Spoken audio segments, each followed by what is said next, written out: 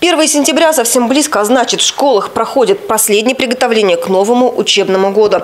Пока в этих коридорах непривычно тихо, но совсем скоро здесь вновь зазвучат детские голоса и веселый смех. Книжки, тетрадки, целый мир знаний откроют свои двери для школьников. По данным городской администрации, порядка 77 тысяч детей отправятся 1 сентября за новыми знаниями в школы и детские сады города. Нас заверили, школы готовы к встрече учеников. Ремонты проведены, новое оборудование закуплено, но основное внимание в этом году было уделено противопожарной безопасности и антитеррористическим мероприятиям. Тревожная кнопка в школах далеко не новшество, но на этот раз именно на ее работе было акцентировано внимание проверяющих, которые с 8 по 14 августа посетили все городские общеобразовательные учреждения. Во всех школах и во всех образовательных учреждениях города Рязани установлены кнопки экстренного вызова наряда полиции. Мы их так на кнопки тревожной сигнализации. По договору с отделом вневедомственной охраны в течение э, там, 5-7 минут э, по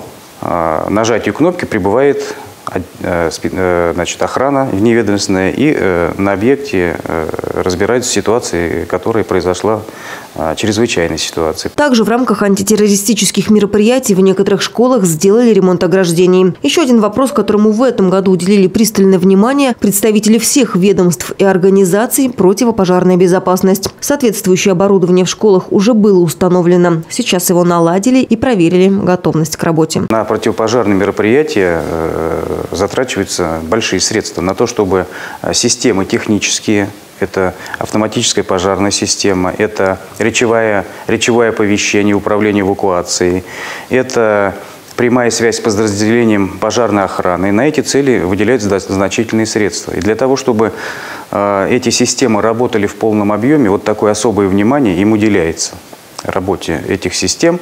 А, у нас во всех образовательных учреждениях эти системы установлены. Еще одно средство защиты детей – это камеры видеофиксации в коридорах и при входе и металлодетектор. Помимо всего прочего, в 10 школах были полностью заменены оконные блоки, отремонтировано 14 медицинских кабинетов, а в некоторых учреждениях проведен капитальный ремонт, деньги на которые были выделены в том числе из региональной казны. Помимо безопасности, родителей волнует вопрос организации учебного процесса и питания в школах. По поводу последнего нас заверили, работа по улучшению качества продолжается непрерывно. Поставлять завтраки и обеды по-прежнему будет муниципальное предприятие «Детское питание». При этом меню разрабатывается с учетом всех рекомендаций Роспотребнадзора. Мы организуем общественный контроль, обязательно общественный контроль организуем во всех образовательных учреждениях.